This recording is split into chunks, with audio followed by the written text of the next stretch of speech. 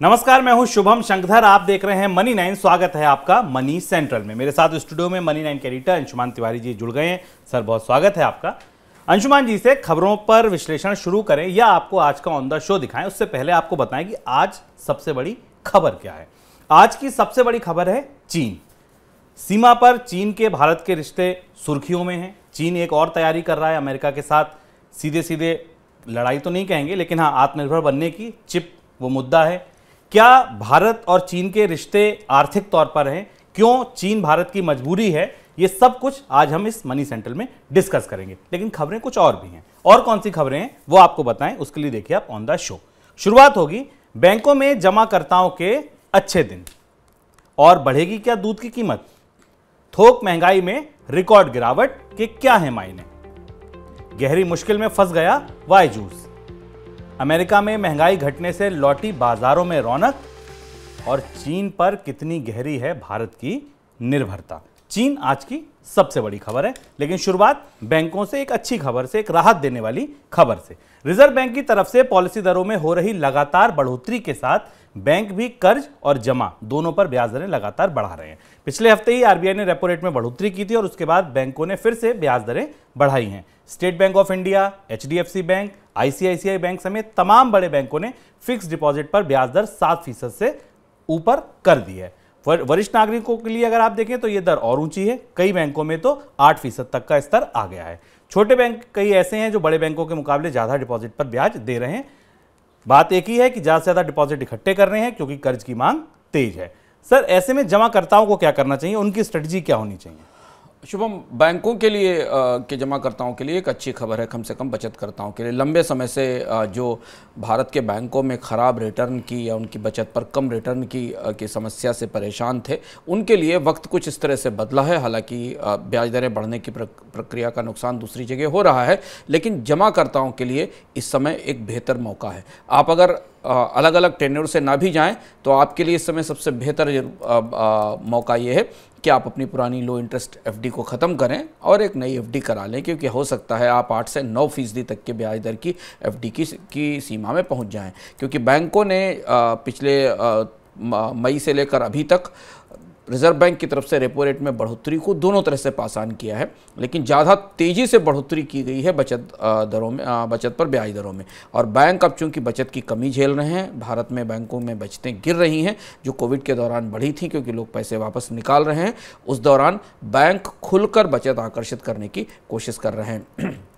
खासतौर से एक साल से तीन साल की अवधि की एफडी पर आपको मिलने वाला रिटर्न पिछले पिछले कई सालों में सबसे अच्छा दिखाई दे रहा है। बिल्कुल। और लंबे समय बाद ऐसा दिख रहा है कि बैंक नई नई स्कीमें जमा को आकर्षित करने के लिए निकाल रहे हैं। तिरंगा स्कीम, स्वतंत्रता दिवस से लेकर और अब तक आप देखें तो तमाम तरीके की स्कीमें तमाम बैंकों की तरफ़ से निकाली जा चुकी हैं। अब अगली खबर, दूध की महँगाई से जुड़ी। देश में चारे की कमी की वजह से दूध की कीमतों में फिर से बढ़ोतरी की आशंका बढ़ गई है। मंगलवार को केंद्र सरकार की तरफ़ से संसद को बताया गया कि इस साल देश में पशु चारे की भारी कमी है। पशुपालन और डेयरी मंत्री पुरुषोत्तम रोपाला ने संसद में जानकारी दी। लंपी स्किन बीमारी की वजह से पहले ही देश में दूध की कीमतों में बढ़ोतरी हो चुकी है और पशु चारे की कमी की वजह से दूध का और महँगा होना तय है। इस बीच पोल्ट्री उद्योग ने भी ये मांग की है कि मक्के के निर्यात पर रोक लगा देनी चाहिए। सर, पशु चारे की अचानक इतनी कमी क्यों हो गई? कई सारे वजहों से। एक तो मानसून की असफलता के कारण दूसरा पशु चारे में इस्तेमाल होने वाले बहुत सारे अनाज जिनकी कमी भी थी और उनके निर्यात का का भी मुद्दा था। पशु चारे की कमी का जो आंकड़ा सरकार ने संसद को बताया है आईसीआर के Indian grassland and fodder research institute की तरफ़ से, से उसके हिसाब से जो हरा चारा है उसकी कमी 11 से 11 से 23 फ़ीसदी के बीच है और जो कंसनट्रेट है जो मिलाकर बनाया जाता है वो करीब 28 फ़ीसदी के आसपास उसकी कमी है। और इसका सीधा असर हमें दूध की कीमतों में बढ़ोतरी पर दिखाई दे रहा है। दूसरी तरफ़ जैसा शुभम ने ज़िक्र किया कि लंपी स्किन डिज़ीज़ के कारण भी दूध के उत्पादन में कमी आई है। चारे की महँगाई सीधे अब आपके पास दूध दूध के स्तर तक पहुँच रही है। केंद्र सरकार की तरफ़ से ये बात कोशिश भी की गई है कि चारे की आपूर्ति किसी तरह से बढ़ाई जाए, लेकिन वो इतनी आसानी से संभव नहीं है। अलग अलग राज्यों से पशुओं के लिए चारे की उपलब्धता सुनिश्चित कराने के लिए कहा जा रहा है। लेकिन समस्या केवल यही नहीं है। समस्या ये भी है कि भारत में पोल्ट्री इंडस्ट्री भी चारे की कमी महँगाई से परेशान है, खासतौर से कॉर्न यानी मक्के की महँगाई के कारण। और अब ये मांग शुरू हुई है कि भारत से गेहूँ और चावल की तरह ब्रोकन राइस और गेहूँ की तरह कॉर्न के निर्यात पर भी रोक लगा दी जाए, क्योंकि भारत के जो प्रमुख पोल्ट्री उद्योग के केंद्र हैं हैं, उन सब जगहों पर कॉर्न की कीमतें इतनी ज़्यादा बढ़ी हुई हैं कि डेयरी इंडस्ट्री का, पोल्ट्री इंडस्ट्री का कहना है कि अब इसके बाद अगर वो एग्स और और चिकन प्रोडक्ट्स की कीमतें बढ़ाते हैं तो फिर उनके लिए बाज़ार में ग्राहक जुटा पाना मुश्किल हो जाएगा। और ये दोनों क्षेत्र, यानी डेयरी और पोल्ट्री, दोनों में कच्चे माल कच्चे माल की और उनकी मुख्य फॉर्डर की महँगाई दिख रही है, और वो महँगाई आपको भारत की महँगाई के आंकड़े में भी दिखाई देती है। अब आज एक ऐसी खबर, थोक महँगाई जो अच्छी भी है और ख़राब भी है। अच्छी इसलिए आप मान सकते हैं क्योंकि महँगाई की कीमतें, महँगाई में कमी आई है। आपको ये माना जा सकता है कि थोक महँगाई कम हुई है तो खुदरा महँगाई भी कम होगी और ख़राब इसलिए क्योंकि इसमें कुछ ऐसे संकेत भी हैं। क्या संकेत अंशुमान जी समझेंगे, लेकिन पहले आप महँगाई सुनिए। थोक महँगाई में अचानक आई बड़ी गिरावट चर्चा का विषय बन गई। नवंबर के दौरान थोक महँगाई 21 महीने के निचले स्तर पर आ गई। सरकार की तरफ़ से जारी आंकड़ों में कहा गया कि नवंबर के दौरान देश में थोक महँगाई पाँच दशमलव आठ पाँच फ़ीसद पर आ गई, यानी कि रिटेल से भी नीचे। जो फरवरी 2021 के बाद सबसे निचला स्तर है, इससे पहले अक्टूबर के दौरान देश में थोक महँगाई आठ दशमलव तीन नौ फ़ीसद थी। थोक महँगाई में अचानक आई ये गिरावट, मांग घटने का भी संकेत है। और मांग सबसे ज़रूरी चीज़ है, अगर मांग घटेगी तो क्या कुछ हो सकता है, आप भी जानते हैं। सर, थोक महँगाई के आंकड़े पहले भीतर से खोलते हैं। ये तो ऊपर ऊपर पता चल गया कि 21 महीने के निचले स्तर पर है। अंदर स्थिति क्या है? थोक महँगाई ने काफ़ी चौंकाने वाली गिरावट दिखाई। और जैसा शुभम ने कहा, महँगाई का घटना आमतौर पर अच्छी खबर है, पर वो महँगाई किस तरह से घट रही और किन परिस्थितियों में घट रही, उसमें कुछ और भी संकेत हैं। और इसलिए इन महँगाई के आंकड़ों को हम आज खुदरा महँगाई पर हमने कल चर्चा की थी, जिसमें खाद्य महँगाई बड़ा दबाव बनी हुई है। थोक महँगाई के आंकड़ों में भी अगर आप फ़ूड आर्टिकल्स के के लेवल पर देखें फ़ूड इंडेक्स अभी भी ऊंचाई पर है, उसमें भी, में भी कई सारी चीज़ों की कीमतें महँगी हैं। लेकिन बाकी जो महँगाई खुदरा महँगाई है, वो उसमें तेज गिरावट दिखाई दे रही। है जो सभी कमोडिटीज़ में देखें तो प्राइमरी आर्टिकल्स की महँगाई दर जो अक्टूबर में करीब 11 फ़ीसदी के आसपास थी वो घटकर पाँच दशमलव पाँच दो फ़ीसदी रह गई है। फ्यूल और पावर की महँगाई दर तेईस फ़ीसदी से घट के सत्रह फ़ीसदी के आसपास है। मैन्युफैक्चर्ड प्रोडक्ट्स की महँगाई दर अभी भी चार दशमलव चार दो फ़ीसदी है है अ, के आसपास थी जो तीन दशमलव पाँच नौ फ़ीसदी के आसपास है। लेकिन प्राइमरी आर्टिकल्स में तेज गिरावट दिखाई दे रही है अ, इस महँगाई दर में। ये ये गिरावट कई माम, मामलों में बाज़ार में आपूर्ति के स्तर से समस्याओं के समाधान का संकेत भी है। लेकिन यही आपूर्ति के स्तर से समस्याओं का समाधान मतलब ये कि जिन चीज़ों की शॉर्टेजेस थी या जो अंतर्राष्ट्रीय स्तर से जिनकी कीमतें महँगी थी कम उनकी धीमे धीमे बाज़ार में आपूर्ति सामान्य हो रही है। लेकिन यही महँगाई मांग की तरफ़ से हमें एक बिल्कुल दूसरी तस्वीर प्रस्तुत करती दिखाती है जिसे हमें कुछ दूसरे आंकड़ों के संदर्भ में समझना होगा। सर अब दूसरे आंकड़ों के संदर्भ में समझते हैं। औद्योगिक उत्पादन के आंकड़े अभी कुछ दिन पहले आए थे, जिसमें काफ़ी गिरावट देखने को मिली थी, जो बताता है कि फैक्ट्रियों में आउटपुट नहीं हो रहा, फैक्ट्रियाँ पूरी रफ्तार से नहीं चल रही।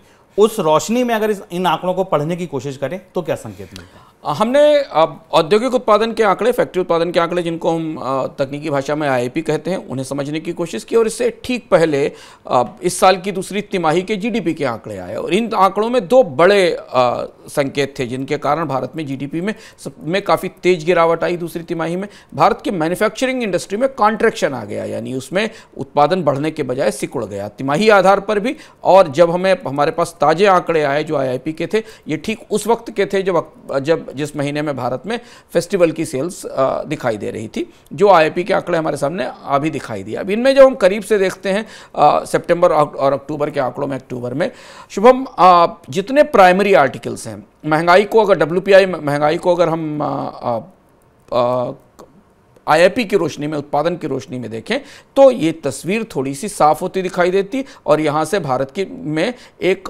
बड़ा ब्रॉड बेस्ड स्लो डाउन कई सारे उद्योगों में फैला हुआ स्लोडाउन या कई सारे उद्योगों में मांग की ज़बरदस्त कमी निकलकर सामने आती है। जैसे प्राइमरी गुड्स जिसकी इन्फ्लेशन में, जिसकी महँगाई में, हमने थोक, महँगाई में सबसे तेज गिरावट देखी। अक्टूबर में उसकी विकास दर या उसमें उत्पादन की वृद्धि दर सितंबर में साढ़े नौ फ़ीसदी की जगह घटकर दो फ़ीसदी रह गई केवल। जबकि प्राइमरी आर्टिकल्स में सबसे ज़्यादा तेज गिरावट आई और वहीं प्राइमरी जो ज़रूरत ज़रूरत की चीज़ें हैं, उनमें लेकिन उनके उत्पादन में भी आईआईपी में गिरावट आई।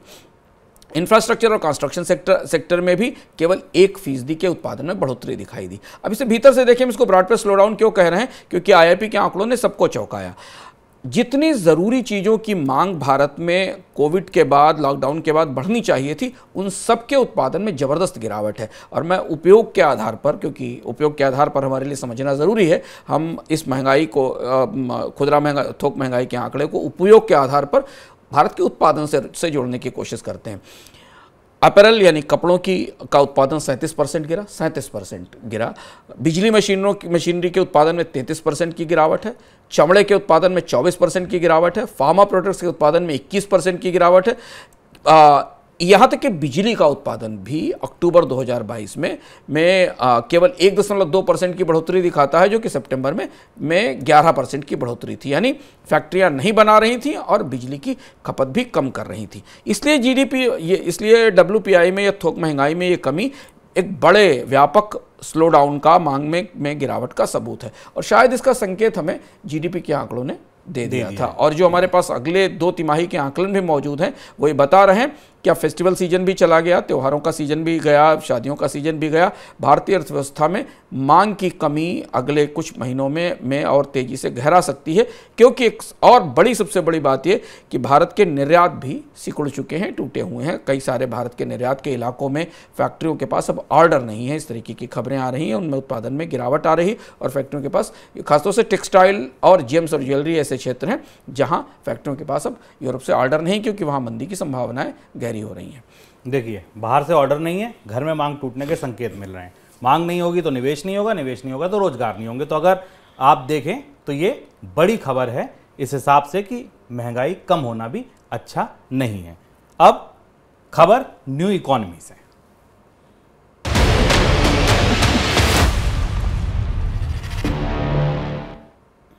न्यू इकोनॉमी मतलब कि स्टार्टअप। ये लगातार दिक्कतों में फंस रहे हैं। लगातार मनी सेंट्रल के अगर आप नियमित दर्शक हैं तो आप जानते होंगे कि शुरुआत से हम आपको इस पर आगाह कर रहे हैं। यूनिकॉर्न बन चुकी एजुकेशन टेक्नोलॉजी कंपनी वाइजूस की दिक्कतें बढ़ती जा रही हैं। बैंकों ने वाइजूस से कह दिया है कि कर्ज वसूला जाएगा, इस पर सख्ती की जाएगी। इसलिए आप एक दशमलव दो अरब डॉलर का जो कर्ज है, उसका कुछ हिस्सा चुकाने के लिए अपनी अमेरिका की संपत्तियों को बेच दें। वाइजूस की अमेरिका में जो संपत्तियाँ हैं, उनकी कीमत 50 से 80 करोड़ डॉलर आकी गई है। रिपोर्ट्स की माने तो बैंकों ने कंपनी से साफ़ कह दिया है कि वह अमेरिका की संपत्ति बेचकर कर्ज नहीं चुकाती तो उसके खिलाफ कानूनी कार्रवाई शुरू कर दी जाएगी। सर, वायजूस की हालत लगातार खराब हो रही है। रिज़ल्ट देरी से करना आफत बन गया। बाजूस के लिए कई सारी चीज़ें बेहतर नहीं हो रही और अब धीमे धीमे चीज़ें बाहर फिसल रही हैं। पहली चीज़ तो ये कि जो एक दशमलव दो बिलियन डॉलर का अरब डॉलर का लोन बायजूस ने अंतर्राष्ट्रीय बाज़ार से उठाया था, जो लाइबोर प्लस फाइव परसेंट के आसपास था, वो गहरे डिस्काउंट पर है, वो अस्सी सेंट के आसपास ट्रेड कर रहा है। और इसमें इस लोन की दर में गिरावट के कारण जितने बड़े लेंडर हैं, उनमें एक बड़ा हिस्सा अब बायजूस को इस लोन की रिस्ट्रक्चरिंग करने की इजाज़त देने के लिए तैयार नहीं है। बायजूस के की वित्तीय स्थिति खराब है, कंपनी अपने नतीजे छिपा रही थी, कंपनी ने अभी अपने यहाँ कर्मचारियों की छटनी की। बायजूस लगातार अपने मर्चेंट बैंकर्स के ज़रिए इन कर्ज देने वालों को समझाने की कोशिश कर रही है कि कंपनी उन्हें अब ट्रांसपेरेंटली अपनी अपने कामकाज की सूचना देगी, मुनाफे में लाने की कोशिश करेगी, इसे रिस्ट्रक्चर कर दिया जाए। और ये किसी कंपनी के लिए बेहद चुनौतीपूर्ण बात होती है कि जब उसके लोन को रिस्ट्रक्चर करने के लिए या उसके लोन का भुगतान टालने के लिए, कुछ ज़्यादा ब्याज पर भी उसके लोन का भुगतान टालने के लिए लेंडर्स मना कर दें। बायजूस वहाँ उस आ, इस ट्रैप में जाकर फंस गई है। बायजूस से कहा गया है कि कि वो अब तात्कालिक तौर पर इसका कुछ हिस्सा लोन का चुकाए जो कि उसकी अमेरिका की संपत्तियाँ हैं।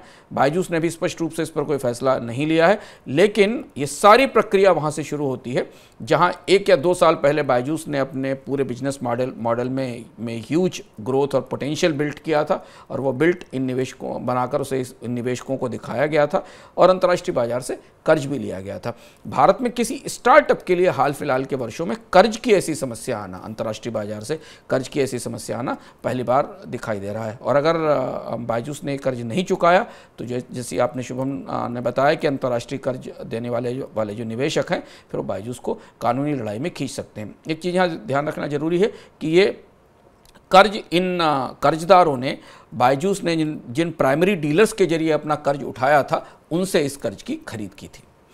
फिनटेक कंपनी पेटीएम के बोर्ड ने शेयर बायबैक को मंजूरी दे दी है। कंपनी की तरफ़ से कहा गया है कि 850 करोड़ रुपए के शेयरों की खरीद की जाएगी, जो कंपनी के कुल शेयरों का लगभग एक दशमलव छः दो फ़ीसद हिस्सा होगा। ये खरीद 810 रुपए प्रति शेयर के भाव पर होगी। हालाँकि बायबैक की घोषणा के बावजूद बुधवार को पेटीएम के शेयर में कोई बड़ी तेज़ी नहीं देखी गई, बल्कि उल्टा दबाव दिखा।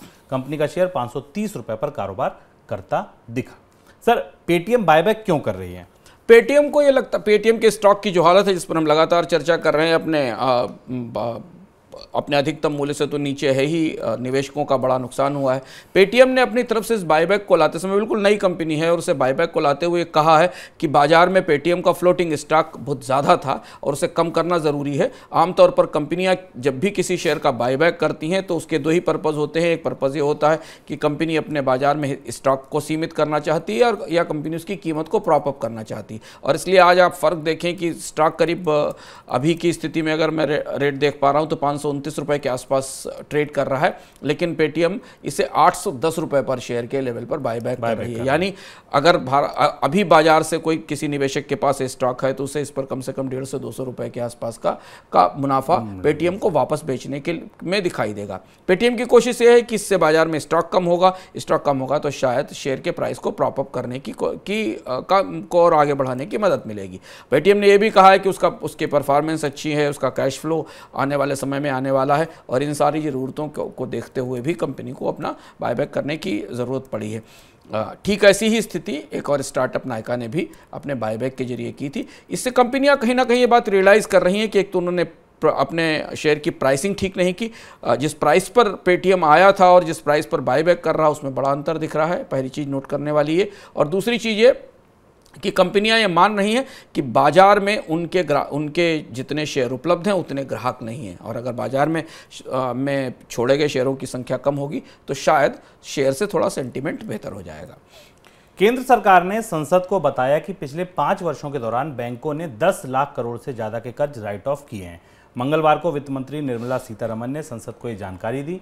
वित्त मंत्री ने बताया कि पिछले पाँच वर्षों में राइट ऑफ़ हुए कर्ज से एक दशमलव तीन लाख करोड़ रुपए की वसूली की गई। यह भी बताया वित्त मंत्री ने कि बीते पाँच वर्षों में फंसे हुए कर्ज और राइट ऑफ़ कर्ज दोनों को मिला लें तो साढ़े छः लाख करोड़ रुपए की वसूली की गई है। सर राइट ऑफ़ हुए कर्जों की वसूली जो है वो इतनी कमज़ोर क्यों है?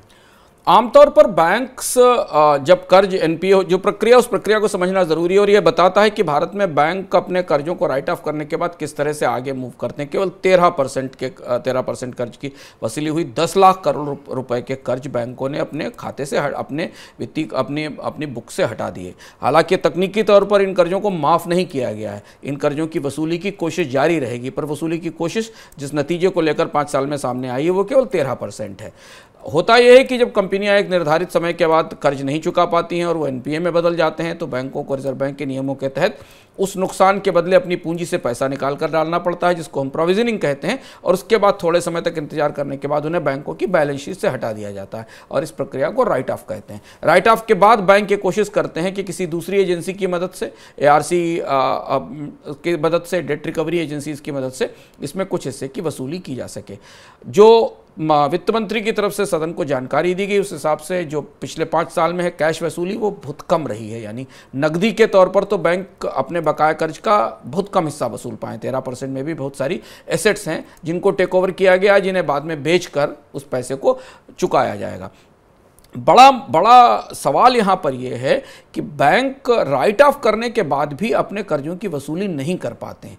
इतनी सारी व्यवस्थाओं के बाद भारत में डेट रिकवरी ट्रिब्यूनल है, भारत में बैड बैंक बनाया गया है, भारत में आईबीसी है है। इसके बाद भी एक बार जब कोई बड़ा एनपीए खड़ा हो जाता है तो उसे कम करना बैंकों के लिए लगभग असंभव सा हो जाता है और इसमें बड़ी पूंजी बैंकों की डूबती है। ये बात एक परोक्ष रूप से इन आंकड़ों से निकलकर सामने आती है। और बैंकों की पूंजी को अगर सरकारें बजट से पैसा देती हैं तो वो पैसा दरअसल टैक्स पेयर का ही होता है। केंद्र सरकार ने कंपटीशन कमीशन यानी सीसीआई के कानून में बदलाव के लिए जो प्रस्ताव दिया था, संसदीय समिति ने उस प्रस्ताव में सुधार का सुझाव दिया है। पैनल ने कानून के कुछ बदलावों को नहीं करने का सुझाव भी दिया है। सरकार ने प्रस्ताव दिया था कि सीसीआई के पास कोई मामला जाए तो उसका निपटारा 30 दिन के बजाय 20 दिन में हो जाना चाहिए। मर्जर और अधिग्रहण, यानी मर्जर एक्विजिशन का कोई मामला हो तो उसे 210 दिन तक नहीं 150 दिन के अंदर अंदर निपटा लेना चाहिए, उस पर फैसला दे देने चाहिए। सर कंपटीशन बिल में सुधार के और कौन से बड़े सुझाव दिए गए हैं और इनका क्या असर होगा?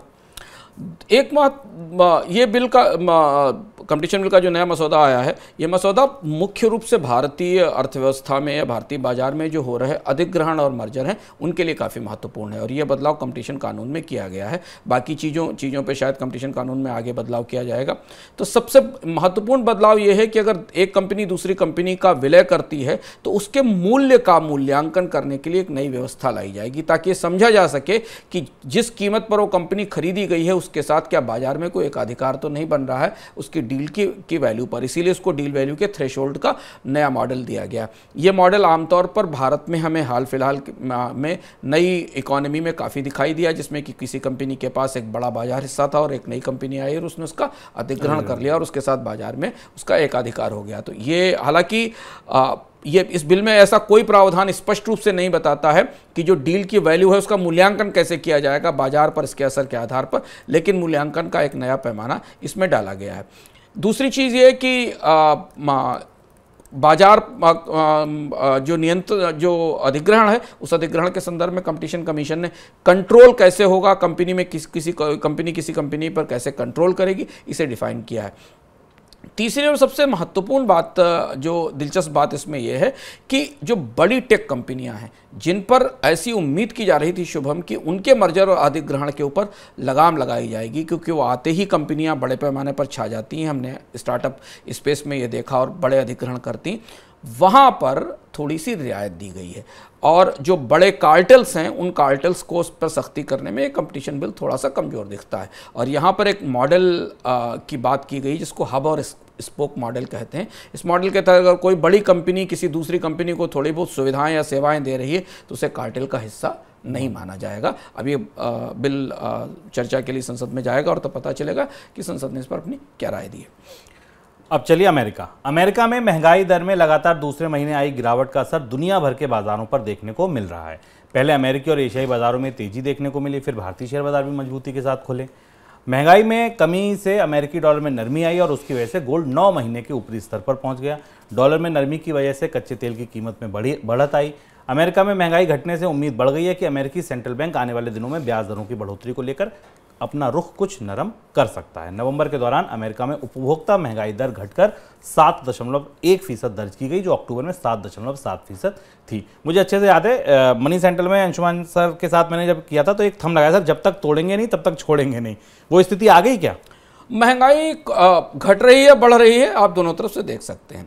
घटने की दृष्टि से अगर इस शेयर बाज़ार की की निगाहों से देखें तो अमेरिका में खुदरा महँगाई में थोड़ी कमी आई जैसे भारत में खुदरा महँगाई में थोड़ी कमी आई, लेकिन ये कमी को ख़त्म करने के लिए सारी कमोडिटीज़ की कीमतें तत्काल बढ़ना शुरू हो गई। यानी जो आज कमोडिटीज़ की कीमतें बढ़ रही हैं, ये अगले अगले दो महीने के बाद वापस इस महँगाई में आकर जुड़ जाएँगी। और यही वो महँगाई का बड़ा डूम लूप होता है, जिसमें सेंट्रल बैंक्स जाकर फंस जाते हैं। और इसीलिए आमतौर पर सेंट्रल बैंक्स कभी भी महँगाई में थोड़ी गिरावट के समय ब्याज दरों में में बढ़ोतरी की प्रक्रिया नहीं रोकते हैं। तो जो शुभम कह रहे हैं कि जब तक तोड़ेंगे नहीं, तब तक छोड़ेंगे नहीं तो महँगाई टूटी नहीं है।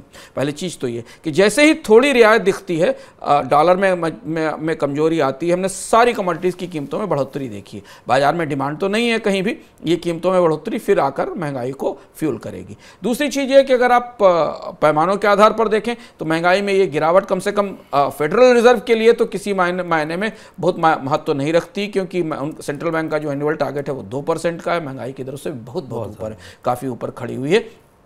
लेकिन जीरोम पावल शायद अपनी अगली बैठक में इस बात का संकेत देने की कोशिश करेंगे कि वो महँगाई पर करीब से नज़र रखेंगे। लेकिन फ़िलहाल दुनिया के कोई भी बैंकर इस महँगाई में इस तात्कालिक कमी, चाहे वो भारत में हो रही हो या वो अमेरिका में हो रही हो इससे बहुत बहुत उत्साहित होते हुए नहीं दिखाई दे रहे हैं। वो शायद अभी ये देखेंगे कि जब तक बाज़ार में पूरी तरह महँगाई को कम होने की अंतर्धारणा न बन जाए, तब तक ऐसा तब तक शायद ब्याज दरों में कोई बड़ी कटौती या ब्याज दरों में बढ़ोतरी की प्रक्रिया नहीं रोकी जाएगी। जो उनके लक्ष्य हैं महँगाई दर को नियंत्रित करने के, उन पर वो कायम रहेंगे, पर निगाहें फिड चेयरमैन जीरोम पावल की और फेड की अगली बैठक पर अब दुनिया की सारे, के सारे बाजारों की निगाहें इस बैठक पर होंगी। अब दिन की सबसे बड़ी खबर।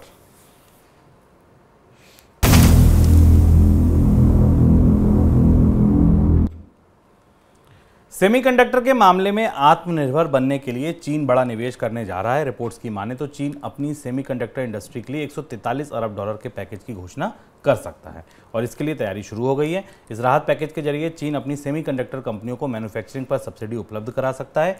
बीते अक्टूबर के दौरान अमेरिका ने चीन की सेमीकंडक्टर इंडस्ट्री पर कुछ प्रतिबंध लगाए थे, जिसके बाद चीन ने सेमीकंडक्टर के मामले में आत्मनिर्भर बनने की दिशा में काम करना शुरू कर दिया था। सर, चीन का ये नया पैकेज किस तरीके का है?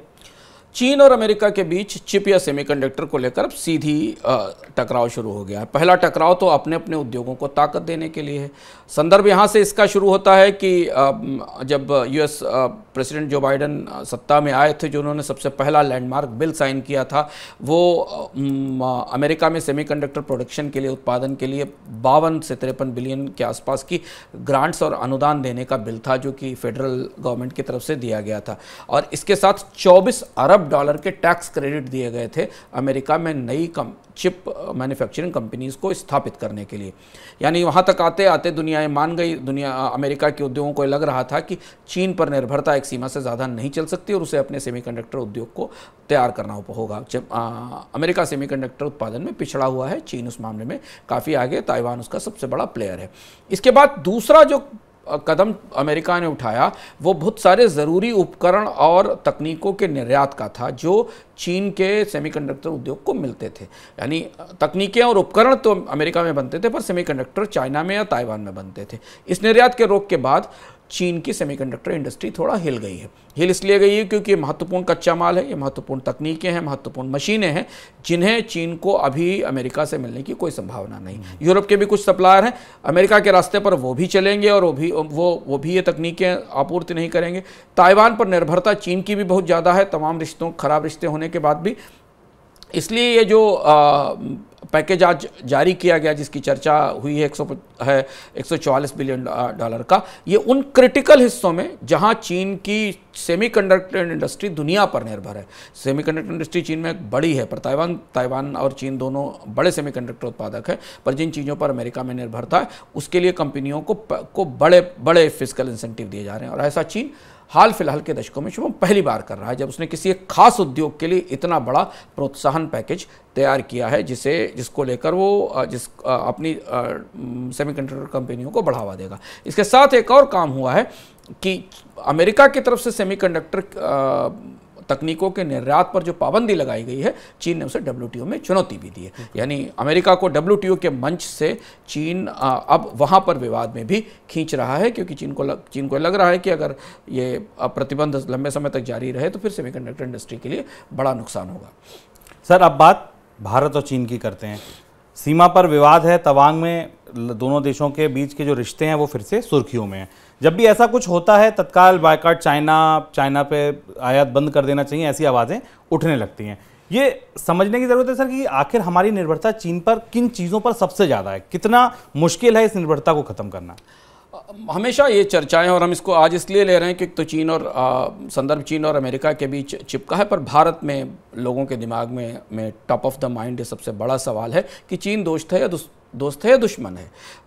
रणनीतिक प्रक्रियाओं में माना जाए तो चीन भारत का सबसे बड़ा प्रतिद्वंदी है सबसे बड़ा बड़ी कट्टर चुनौती है और ये भारत के के जो रणनीतिक डॉक्ट्रिन्स हैं उसके हिसाब से दिखाई देता है। पर अगर आप बाज़ार में देखें देखें तो चीन शायद भारत का सबसे बड़ा दोस्त है। दोस्त। तो अक्सर हम लोग अपनी चर्चाओं में कहते हैं कि चीन से एक लड़ाई आप तवांग के के या डोकलाम के पठार पर लड़ते हैं पर उससे ज़्यादा बड़ी लड़ाई आप दिल्ली के चावड़ी बाज़ार में लड़ते हैं जहाँ चीन सबसे बड़ा हिस्सा रखता है। और यहाँ हमारे लिए समझना ज़रूरी है कि भारत की निर्भरता दुनिया के किसी और देश की तुलना में चीन पर बहुत गहरी है। बहुत सारे लोग ये सवाल जानने की कोशिश करते हैं कि आखिर हम चीन पर किन चीज़ों के लिए निर्भर हैं? और शुभम, आपको आश्चर्य होगा जानकर कि हमारी स्ट्रेटेजिक डिपेंडेंस चीन पर इतनी ज़्यादा बढ़ती चली गई है। उसका नतीजा हमारे सामने अभी आया है। जैसे ध्यान, गौर से देखें, भारत चीन से करीब करीब 2021 में 26 बिलियन डॉलर के आसपास के इलेक्ट्रॉनिक इक्विपमेंट्स का इंपोर्ट करता है। 26 बिलियन डॉलर का इंपोर्ट चाइना से आता है। और इसमें माइक्रो असेंबलीज हैं, इसमें छोटे पुर्जे हैं, इसमें डायोड्स हैं, इसमें ट्रांजिस्टर्स हैं, इसमें सेमीकंडक्टर जैसी दिखने वाली डिवाइसेस हैं, इसमें ट्रांसमिशन अपार्टस हैं, इसमें टीवी कैमरा है, इसमें कॉर्डलेस फ़ोन है, इसमें टेलीविज़न है रेडियो रडार अपार्टस हैं। ये वो रणनीतिक इक्विपमेंट हैं जिनके को लेकर अमेरिका, चीन की कंपनियों पर लगातार सवाल उठाता रहा है। लगभग नब्बे कुछ मोबाइल फ़ोन कंपोनेंट्स तो भारत में ऐसे हैं जिनका 90 परसेंट सप्लाई 90 परसेंट सप्लाई चीन चीन, से हमारे पास आती है। अब ये निर्भरता भारत अपने पीएलआई के कारण भी भी और बाकी चीज़ों के कारण ख़त्म नहीं कर पाया। इंटीग्रेटेड सर्किट जो टेलीविज़न सेट्स में है वहाँ पर भी नब्बे फ़ीसदी निर्भरता है हमारी। मशीनरी के स्तर पर जो कैपिटल गुड्स है मशीनरी जिसकी हमें ज़रूरत पड़ती 18 बिलियन डॉलर का इंपोर्ट हम चीन से करते हैं मशीनरी का। और इसमें इंपॉर्टेंट मशीनरी इसमें ऑप्टिकल राइडर्स हैं हैं पंप्स हैं वैक्यूम्स हैं जो ज़रूरी औद्योगिक उत्पादन की ज़रूरी मशीनरी है ये चीन चीन से आती हैं। जो सबसे और गहरी निर्भरता जहाँ हो जाती जिसे जिसका भारत आ, तोड़ अभी तक नहीं निकाल पाया वो है केमिकल्स और ऑर्गेनिक केमिकल्स की। 11 बिलियन डॉलर के ऑर्गेनिक केमिकल्स हम आयात करते हैं और इसमें में बहुत सारी दवाएँ हैं। इसमें एंटीबायोटिक्स हैं इसमें अमीनो कंपाउंड्स हैं इसमें माइक्रोबायोक्सिलिक एसिड्स हैं। बहुत सारी दवाएँ हैं जिन पर हम चीन को लेकर चीन पर फार्मा इंडस्ट्री जो कि दुनिया भारत की फार्मा इंडस्ट्री जो दुनिया में तीसरे नंबर नंबर पर है उसका बड़ा बड़ी निर्भरता चीन के ऊपर है। इसी तरह से प्लास्टिक टॉयज़ भी हैं इसी तरह से आ, से फर्टिलाइज़र का कच्चा माल भारत के लिए बड़ी निर्भरता है। तो अब अगर आप गौर से देखें फाइबर ऑप्टिक फ़ोटो और टेक्निकल चीज़ें हैं, बहुत सारे मेडिकल इक्विपमेंट्स हैं, इनको हम चीन से मंगाते हैं। जैसे जैसे भारत में ईवी क्रांति होना शुरू हुई हमारी निर्भरता बैटरी को लेकर चीन पर बढ़ती चली गई जो हमारी नया हमारे यहाँ नई क्रांति हुई व्हीकल पार्ट्स को लेकर इस पर बढ़ती चली गई थोड़ा सा हिस्सा आयरन आयरन और स्टील का है। अगर आप ये पूरे प्रोडक्ट की प्रोफ़ाइल देखें काफ़ी लंबी प्रोडक्ट प्रोफ़ाइल है क्योंकि भारत और चीन का कारो का कारोबार ही काफ़ी बड़ा है। ये बताता है कि आपके पास जो भी सामान उपलब्ध है घर में या जिन चीज़ों का आप इस्तेमाल कर रहे हैं उसमें कहीं ना कहीं कुछ ना कुछ हिस्सा चीन से आया हुआ। लगा हुआ ज़रूर है। सर अब दूसरा सवाल, आत्मनिर्भर भारत की पूरी मुहिम की शुरुआत की, लगातार उस पर काम हो रहा है। उस, उसके प्रयास कैसे रहे? उनका, उसका कुछ ऐसा प्रभाव हुआ जिस पर चीन की निर्भरता कम हो सके हमारी?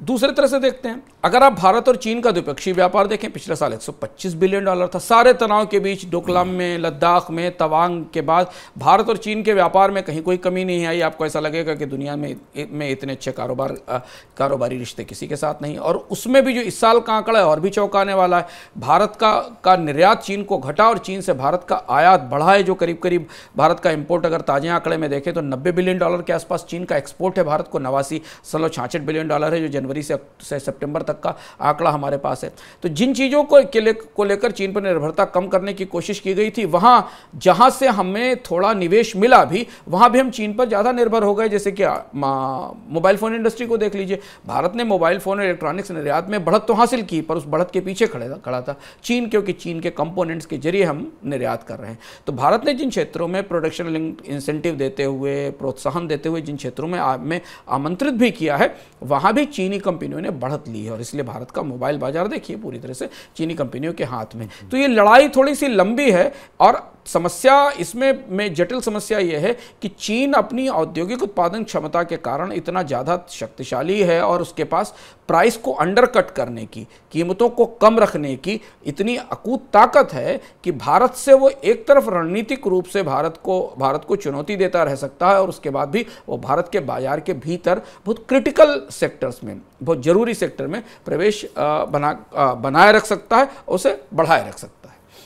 चलिए तो एक लड़ाई एक, तो वहाँ एक, एक और चीज़ इसमें महत्वपूर्ण जोड़ने वाली जो अभी संसद को जानकारी दी गई चीन की चर्चा के संदर्भ में जो भी जानना ज़रूरी जहाँ सरकारें दखल कर सकती।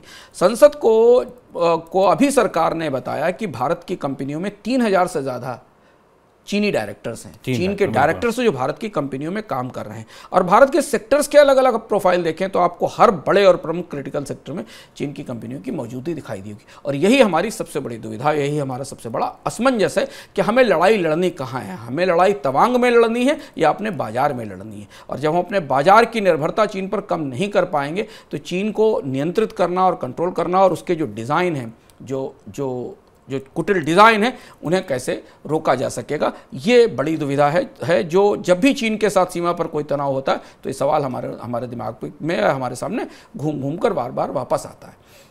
चलिए तो ये था हमारा आज का मनी सेंट्रल।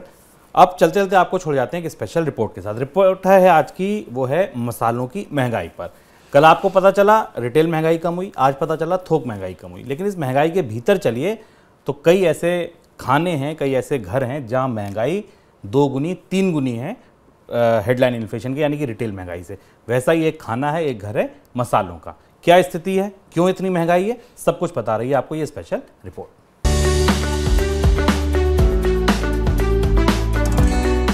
महँगाई के सबसे बड़े विलन मसाले बन चुके हैं। वही मसाले जिनके भाव पर आप राशन खरीदते समय गौर नहीं करते। लेकिन पिछले साल के राशन के बिल में मसालों के भाव को इस बार के बिल से मिलाकर देखिए, आपको पता चल जाएगा कि आटे और तेल के दाम उतने नहीं बढ़े हैं, जितनी बढ़ोतरी मसालों की कीमतों में हुई है। और राशन के बिल को बढ़ाने में सबसे बड़ा हाथ मसालों का ही है। अधिकतर मसालों के दाम बढ़ चुके हैं। साल भर पहले 100 ग्राम जीरा खरीदने के लिए जितने पैसे लगते थे, इस बार 60 फ़ीसद ज़्यादा कीमत देनी पड़ी है। कुछ ऐसा ही हाल सौंफ का भी है, जिसके लिए पिछले साल के मुकाबले 50 से 55 फ़ीसद ज़्यादा पैसे लगे हैं और लाल मिर्च के लिए 40 से 45 फ़ीसद ज़्यादा कीमत चुकानी पड़ी है। मसालों की इस महँगाई की वजह से सिर्फ़ किचन का बजट नहीं बढ़ा, बल्कि सरकार की परेशानी भी यही बढ़ा रहे हैं।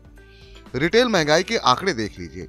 पिछले छह महीने से मसालों की महँगाई दहाई के आंकड़े में चल रही है और बीते नवंबर में तो आंकड़ा 20 फ़ीसद के करीब पहुँच गया है। फ़सल वर्ष 2021-22 के दौरान देश में अधिकतर मसालों की उपज कम आकी गई है, जिस वजह से सप्लाई सीमित है और भाव बढ़ा हुआ है। ऊपर से इस साल रवि सीज़न में पैदा होने वाले कुछ मसालों की खेती भी कम है, जो बढ़ी हुई भाव को और हवा दे रहे हैं।